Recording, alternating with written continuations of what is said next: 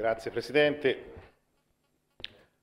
Annuncio il voto favorevole del eh, Movimento 5 Stelle rispetto a questa mozione. Eh, ho qualche idea diversa rispetto a Sarti sull'appropriatezza eh, dei familiari e dei, e dei malati rispetto al pronto soccorso.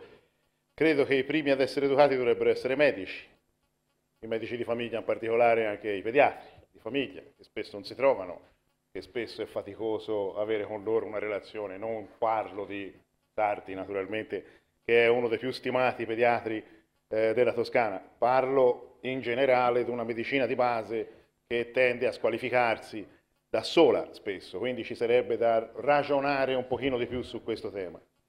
Ho naturalmente una sola uh, perplessità, un dubbio solo rispetto alla mozione rispetto a questa soglia dei 2500, ehm, eh, dei 2500 accessi, perché sappiamo bene che eh, per esempio è verosimile che d'estate a Portoferraio ci siano 2500 accessi e eh, d'inverno no. Quindi cosa succede a Portoferraio?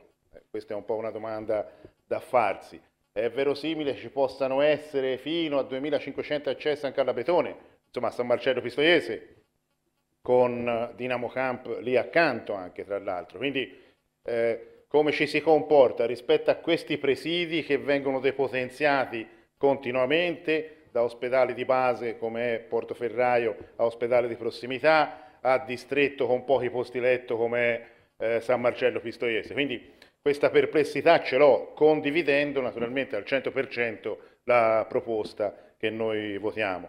Quindi una riflessione su questo, che non può essere solo l'elemento della frequenza delle prestazioni, ma anche della necessità di garantirle le prestazioni laddove eh, il sistema eh, diciamo, montano, il sistema isolano in questo caso rischiano di eh, penalizzare eh, questi cittadini e non è assolutamente giusto.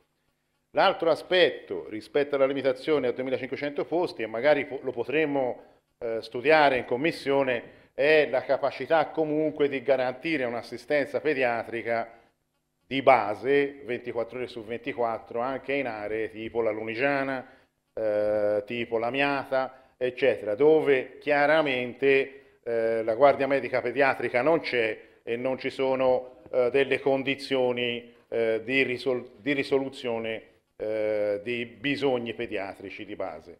Credo che anche questo vada, eh, vada preso in considerazione. Potrebbe essere anche un sistema per rendere meno inappropriati gli accessi, perché chiaramente se hai un pediatra a disposizione comunque sulle 24 ore in termini di eh, sorveglianza clinica, il pronto soccorso viene meno congestionato.